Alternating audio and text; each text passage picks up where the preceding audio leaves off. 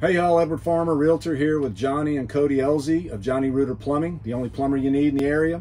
Want to ask them, what is the one thing a buyer, first time buyer or a fifth time buyer, before they walk away from their general inspection, what is the one thing that these professional expert plumbers would want that buyer to know?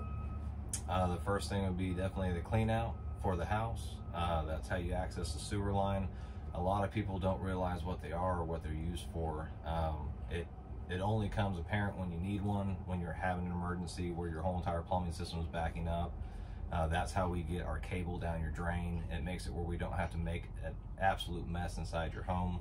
And that is the one thing I would say that you need to get from the inspection or whatnot would definitely be getting the clean out cleanup. And then you mentioned shut off maybe? Oh, and the and the water shut off. Yes, to your home. Same thing. You need you know where the water shut off shut off is to your home.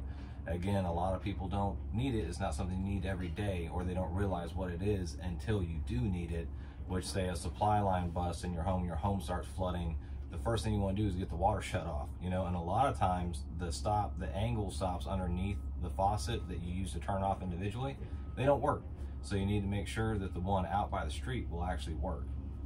And that's that's what I would say with that. Great. Yeah, y'all have helped me out a lot with clients that we share because they bought this beautiful home and they've got great landscaping and that great landscaping has been the culprit behind not knowing where it is. Oh yeah, not and, knowing where the clean out is or the water shut off valve, as they'll, they'll both get covered up.